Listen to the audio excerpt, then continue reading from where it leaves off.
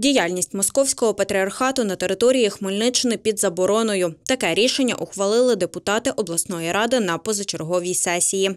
Ми переконані, що спільнота, що населення, що голови міських, сільських та селищних територіальних громад нашої області за підсумками цих подій, які відбулися 2 квітня, будуть більш свідомішими і активнішими, а саме спілкуючися своїм населенням в межах тої чи іншої територіальної громади, будуть спонукати переходи до української помісної церкви. Крім того, рекомендували органам місцевого самоврядування сприяти переходу громад з московського патріархату до православної церкви України. Це можна зробити під час зборів релігійних громад.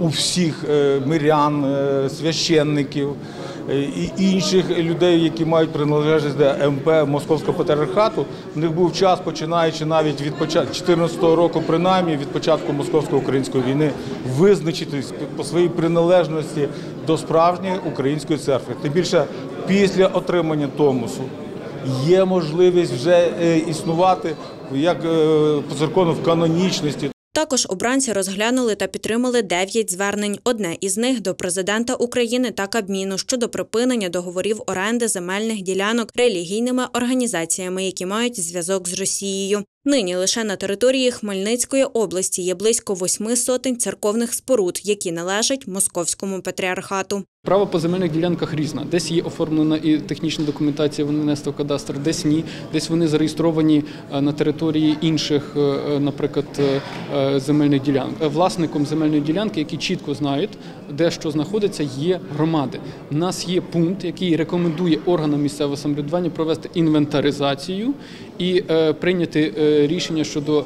Ми рекомендуємо е, про щодо, розірвання шляхом прийняття подальших рішень.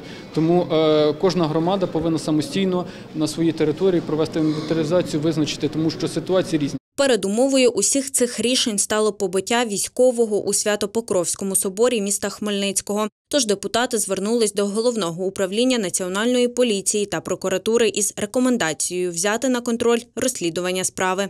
Відносно помічника священника, який наносив тілесні бувшому військовому, внесено відомості в ЄРДР по статті 125 Кримінального кодексу України. По результату 125-ї сьогодні особі буде оголошено підозру. Вчора підозра була вручена його мамі. Ірина Кондратюк, Микола Юрковський. Новини міста.